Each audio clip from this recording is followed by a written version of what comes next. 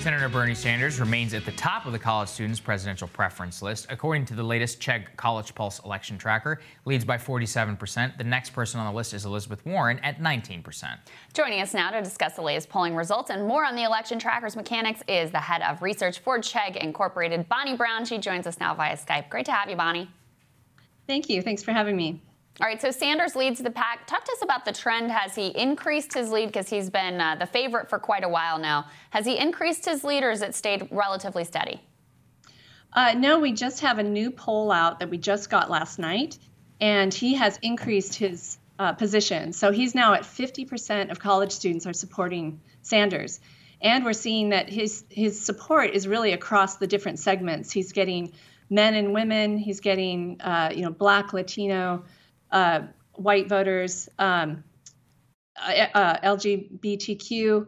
Uh, so he, he has very strong support across mm-hmm. all segments. Bonny, are we able to do have any insight into the issues that are driving the support? What is it? Student debt? Is it climate? Is it the economy writ large? What do we know about these students and what they prioritize most when they're picking their candidates?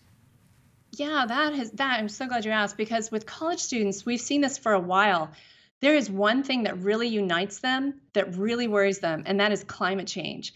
So that is by far nationally the biggest issue that students worry about. Uh, the second is income inequality. You know, the dividing, uh, the the growing divide between rich and poor. So those are the two issues that are definitely driving people's interest, and, and certainly explains a lot of the interest in Sanders. And so go down the, the line for us. So Sanders is at 50%. What are the numbers after that? And also, what time period was this um, polling done? Was it pre New Hampshire, post New Hampshire, a mix? Just give us those details. Yeah, it was a little bit of a mix. So, um, for instance, Yang dropped out in the middle. So this was uh, through that period. So a little bit of pre and a little bit of post. So we'll, you know, next week we'll have another uh, cleaner read. Um, but Bernie Sanders came in at 50%. So he augmented his lead by 3%. And then the second place, Warren, who had been polling very strongly, uh, she uh, lost a little bit of, of um, her support. Uh, so she's down at 18% now. That those two were very close together at one point, um, and now we see such a divide there. Wow, um, yeah, it's really and, mimics. Yeah. Go ahead. Yeah. And then Andrew, Andrew Yang, who really excited college students, you know, coming out of nowhere, they seemed to really uh, were attracted to his fresh fresh approach. And um, he still was polling at 10%, but he's gone down. And so that's mm-hmm. probably the mid polling where he dropped out. Right. Uh, Buttigieg, right? Um, 8% in our poll nationally. So Buttigieg may be more uh, very strong regionally, but we'll have to really see where he goes nationally. Mm-hmm. And so, Bonny, do we have any insight into Nevada in particular? Because as I understand it, there's quite a big university population in Nevada, University of Las Vegas, I know in Reno uh, as well. What are some of the micro data that we have out of Nevada and who they support?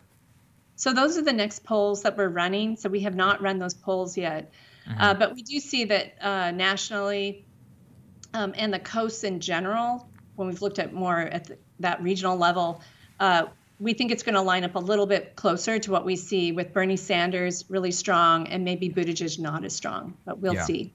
Yeah, let's talk about in Iowa and New Hampshire, Pete actually did much better with college students than he's performing nationally. What do those numbers break down like? Yeah, so in our poll, this was prior to the um, to the caucus. Uh, Buttigieg had 19% support, so you know more than double what he had in the national poll. And in New Hampshire, he polled at 23%. So actually, our college students were, uh, you know, quite in line with how it actually turned out in the election. Hmm. Wow. So, I mean, I'm, do you have any insight into issues that might have made that different? Was it just a campaign organization? Yeah, no, it's a really great question. And we do think that uh, students there, uh, right, they're more moderate probably mm-hmm. than um, in some of the, the coastal areas. Right. Uh, so we believe definitely that. And also in um, uh, we know that immigration was a bigger issue in New Hampshire than it is huh. nationally.